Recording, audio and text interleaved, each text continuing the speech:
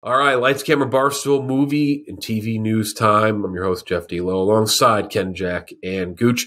I'm in Chicago, different about KenJac in, in Germany for these news and notes here as we are in the midway point of September, Monday, September 18th. Big time trailer news.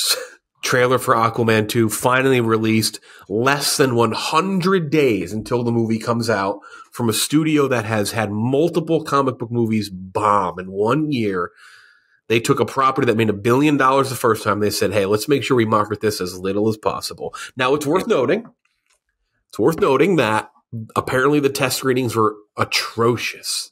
Like Very atrociously. Bad. Like Walkouts, even say it again. Walkouts. Remember what they said in the yes, first people one? leaving, which I didn't even know you could do that.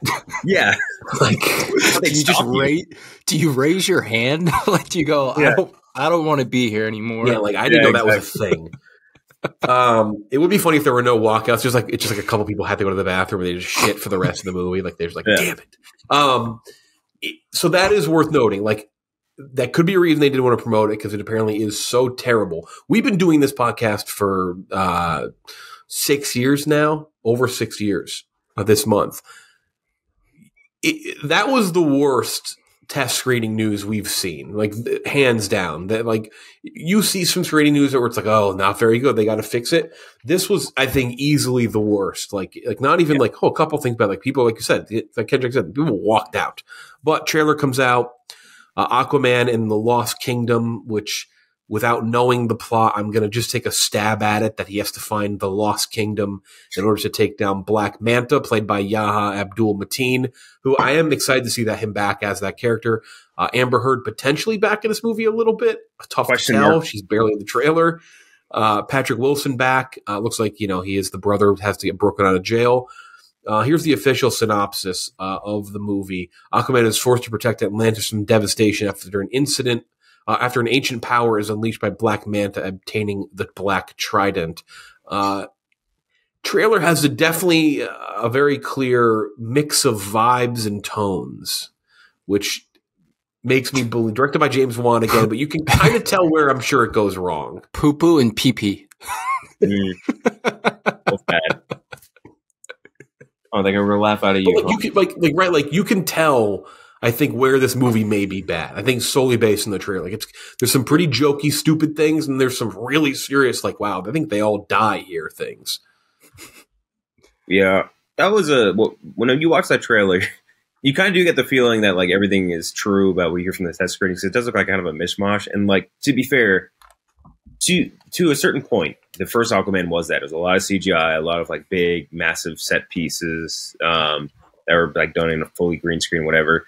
Uh, and that kind of was kind of cool at points, especially towards the third act of Aquaman, which I thought was pretty cool. Um, but this one, just looking at it, I don't know why why I would want to see this movie. You know what I mean? The death again. We're in the death rattle of DC. I don't know what about this movie makes me want to go like, hey, I gotta go fucking. Ch-. If I was a regular moviegoer, if I was like, wow, man, I gotta go fucking check out Aquaman too. Like, again, we're we're keyed in. We know all this stuff about test screens, all this stuff. But for the average dude, I just don't know what the draw is anymore, other than just like, hey, Jason Momoa and the dude from Insidious are teaming up to take down Black Manta. Like, I, I don't fucking know. I just don't get it. I mean, Dolph Lundgren. Come on now. Yeah, Dolph Lundgren. Was that even Dolph Lundgren in the flashback? I think that was Vincent Regan, who we just saw in uh, One Piece in that flashback sequence. Oh no, it's the yeah no that's Dolph, that's, which is very random. Um, but yeah, like you're saying, it's just I think this speaks to just comic book or yeah, comic book movies, like where they're at right now. Like if you want to make something that gets people to theaters in that genre, you have got to start like branching out and doing something different. This just looks like a comic uh, comic book movie that came out in 2010, 2011. It just looks bland as hell with bad CGI.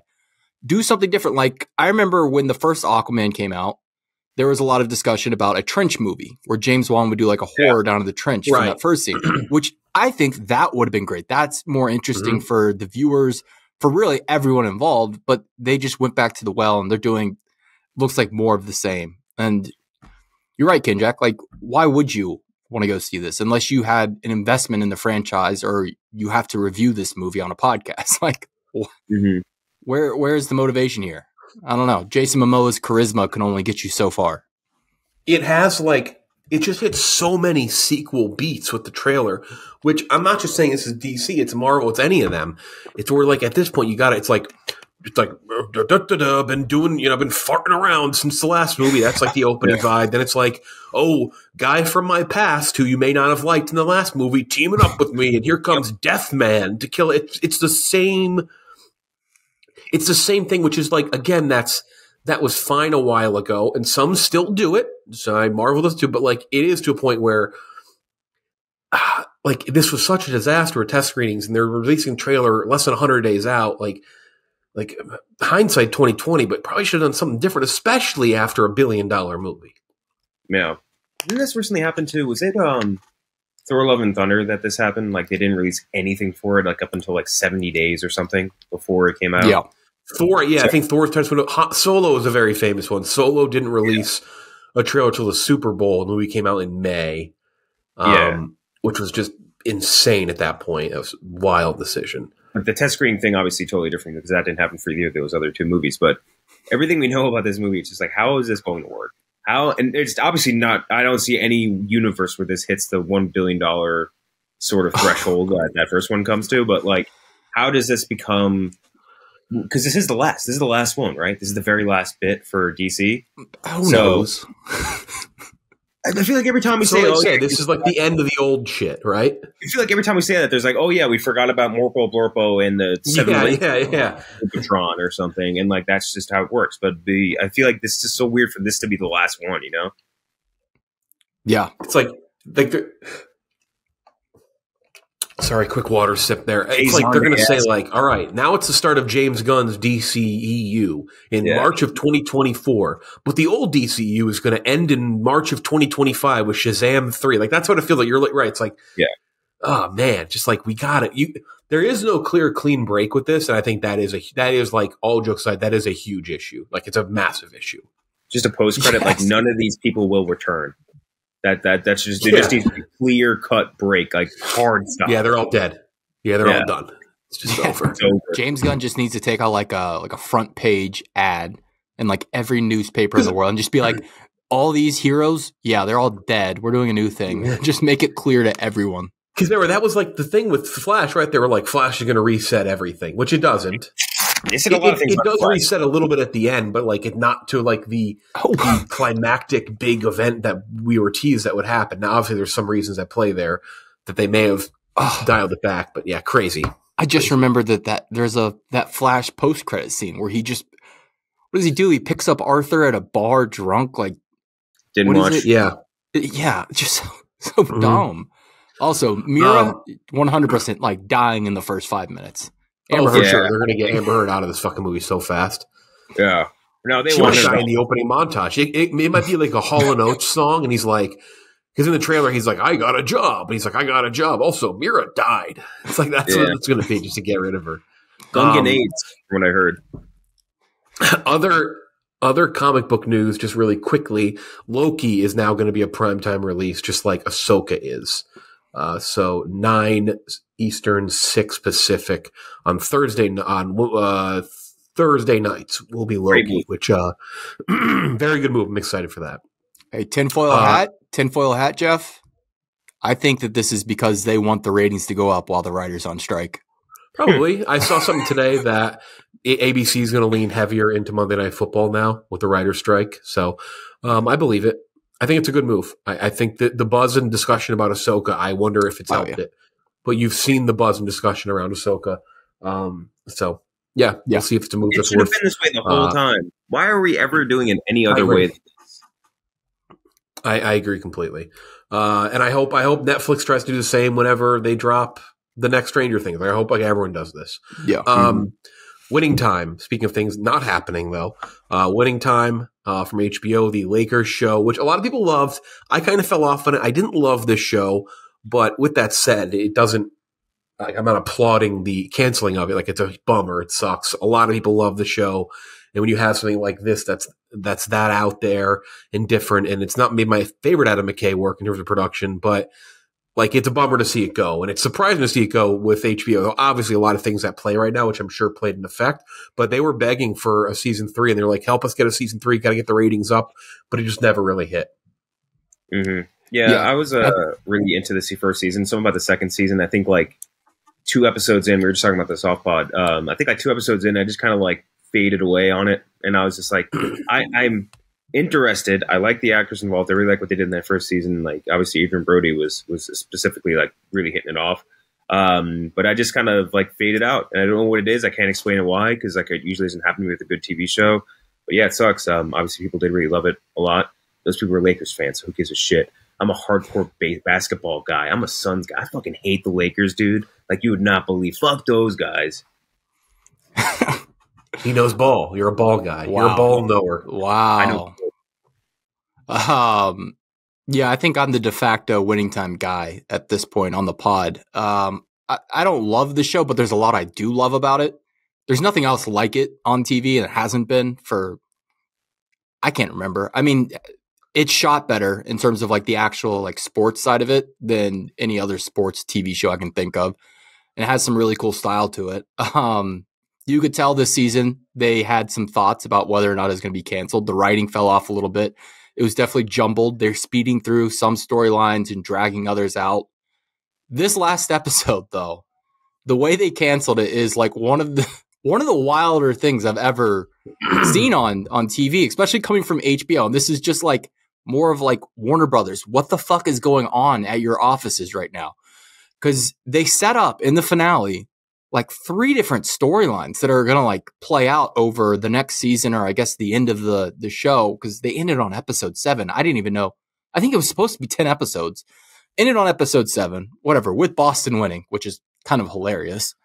Um, and then they run this Disney montage at the end of the episode, like one of those. This is what this person ended up doing. This is what this person ended up doing with like text over like still images from the show. It was so bizarre. And then the episode ended, and I just got on Twitter, and of course, announcement went out right at 10 p.m. right after Yep. the episode got done airing. Yeah, this is canceled.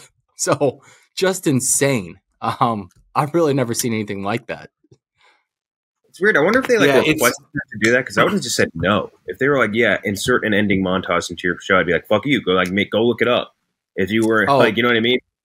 It was 100% put together like last week. Like, you Yeah, that's, that's what I'm thinking. Like, if but if they ask them, like their EPs or whatever, like or, or creative director of the show, and they're like, "Yeah, we want you. to The show's over, so please add something in for more finality." I would just been like, like literally, fuck you. No, like, why would I do that? Yeah, exactly. It it sucks. I, I would have loved to see them also like take it in like two. I think the show had potential to branch out from the Lakers and do other like do do Jordan's rookie season, maybe do like the Cowboys in the nineties. Right. You could do other cool sports stuff. There's a lot of options. Like again, I don't want to pretend I caped for this show, and I was very excited for it. I still wish um, what's his face would have played Larry Bird, um, Oh, Bo Bo Burnham. Burnham. Bo Burnham. But I, I, they did a really like the production value, the quality of the show was fantastic, and it was funny at times. And I think the fourth wall stuff got to be a bit much for people, especially maybe if you're just like a cat. Like you got to love that style from uh, from Adam McKay and this type of stuff that he does. Um, I just never became a huge fan of it. But with that said, like there, that doesn't change my opinion. The fact that it, it sucks ass that it got that it got canceled, especially because a lot of people seem to like it, and unfortunately, that's just like the rub with television. Still, is that a lot of these shows, even though maybe they don't have a ton of audience, like they're just fucking beloved. I mean, it's the it's the never ending Arrested Development thing, right? It just just it's a bummer. Uh, so yeah, winning time uh, canned uh, will not have a third season. Speaking of streaming things or TV things, this is a TV thing to a movie thing. Lando, the Lando Star Wars series starring uh, Donald Glover as Lando Calrissian, apparently now a film, not a series of, of shows, which is I don't know. I don't know. I have. I don't know if I have a strong opinion on this yet, but that is interesting that they're changing it because it was oh, for a while a series. I think I'm kind of leaning on. I wish it was a series. I still want a like. I would still love a a you know scoundrel, uh, you know dirty, you know, kind of underworld like you know trade and spice, spice runner type Star Wars series where it's like no big connective tissue to Star Wars. Just like we know what we know where Lando ends up in Empire. You know, we know where Han ends up. We know when he dies. Like, just show us their side quests. Show us their early missions. Like, that's what I'd like. And I don't know if a movie suits that very well. Well, we Yeah. kind of saw with Solo. It kind of doesn't.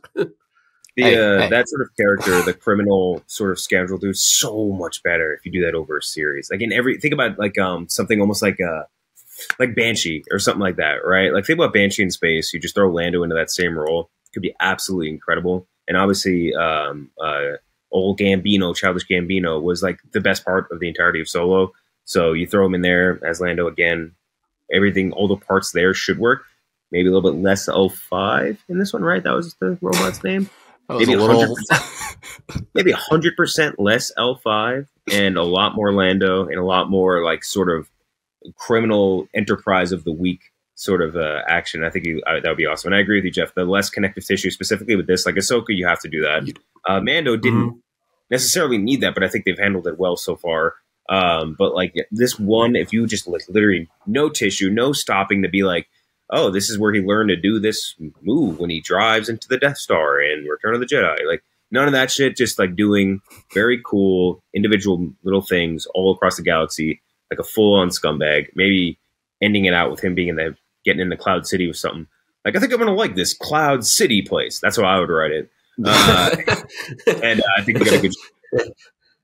Yeah, I, I think like I think you're right. Sorry, and then you go Gooch, but I think I think you nailed it. Is that it's I want the I want like the serial of the week, the mission of the week, the ta- like that's the type of show I want with this type of thing. So I kind of wish that's what we got, but obviously very much not the case. Now, now I'm just imagining like an adult animated series for Lando, which would be, be kind of cool. nuts. Yeah. Um, I think I've, I, I'm on board with this just because anytime you jump from TV to movie, the quality, there's going to be a jump. There's going to be, it's going to be higher quality, uh, probably tighter. Um, I, now that you guys have made this argument, I am kind of hearing what you guys are saying. Like it would be really nice to have a serialized adventure. That's one of the things I love most about Mando season one is it is so serialized, even though people spoofed it time and times again, time and time again, like the, uh, oh no, we got to go get milk from this planet. All right, that's what we're doing this episode. Like, I Yeah. like that. It's fun. That's how shit used to be. That's how it used. To, You know, it's like it's okay. There's so many, so many things to watch these days. Sometimes it's nice to not just have to keep up with like ongoing storylines in every single show and universe. Like, if you just know the character and what he's like, then it's fun. um, I trust Donald Glover with this at the end of the day. As long as they give him control on this, he really has he missed yet on really anything? Uh, I'm trying to think. Hmm. Not really. Everything he touches is kind of gold. Yeah, no, It he's usually it- pretty spot on with his stuff. Smith Yeah. DVD. Yeah, that's fair. Um, but outside that, yeah, no, sure, make it a movie. Um, and then last thing, speaking of movies, let's end it here. Blumhouse is totally killer, aka Happy Death Day three. Um, after Jamie's mother, this, comes out by the way. This comes out uh, in October.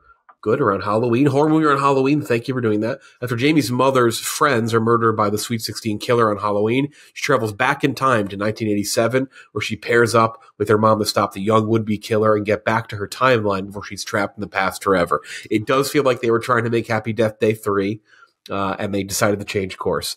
Uh, but this does, it seems fun. Kier- uh, Kiernan Shipka in the lead role as Jamie. Uh, Julie Bowen would play will play her mom, and obviously there will be like a younger version. Randall Park.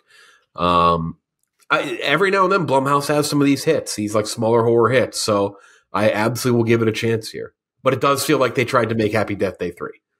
Yeah, just a little bit. I, I like Shipka though. There's something about her, and uh, forget. I was talking to you, Gucci, about it. They have a very funny bit with her and um, the other two. Uh, he's uh, she's I think a pretty funny actress. She was in Sabrina, the right the um the Right. Netflix- She's like kind of from this like world a little bit where like she seems to fit in well. yeah, and she was good in that. I, I only saw like the first season of that, but she was good in it. Um, so yeah, why not? I mean, I'm not I'm not one of those.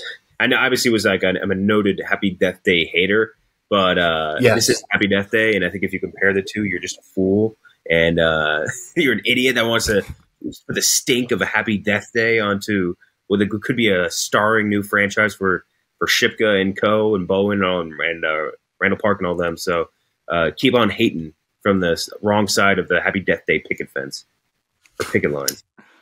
Yeah, no, this this just does it does look like a it's a Blumhouse movie through and through. Um, Yeah. which it looks like a Blumhouse movie in a good way though. Uh, it looks fun, cheap. I mean, this this is what a streaming movie should look like. It's just cheap laughs, nothing too hard to think about. Throw it on with your family, with a date, whatever. I'll, I'll probably have a good time with this one. Ho- hopefully, we review it. um, outside that, I, I don't really know Kiernan Shipka at all. I know she's Sabrina, but I never watched that. Um, I thought it was uh, a grown up version of who's that child actress who was in everything for a while. Fuck, McKenna Grace. That's who I thought it was at first. And I was I mean, like, she is a. I mean, Kiernan Shipka is a child actor. She was in Mad Men. Yeah, oh, that's right. She was the daughter everyone hated. I forgot about that. Yeah. hmm She was in Mad Men. I regret. Um, so that's it for news. Uh, make sure to subscribe to the channel if you can. Helps us out a lot, and like the video, even if you know maybe you know hit, hit it with a like if you're excited for Aquaman two. Uh, and then also hit it with a like if you're not excited for Aquaman two, and let us know below uh, what you think about the return of uh, what's what's the character's name? Arthur Jason. Arthur Arthur. something. no, it's it's uh, it's it's Arthur fish based. Fish. Yeah, it's Arthur Curry. Arthur Arthur fish Curry, based. I knew it was fish Right. based. Um, uh, that's it for Ken, Jack, and Gooch. I'm Jeff D. Lowe. We will talk to you next time.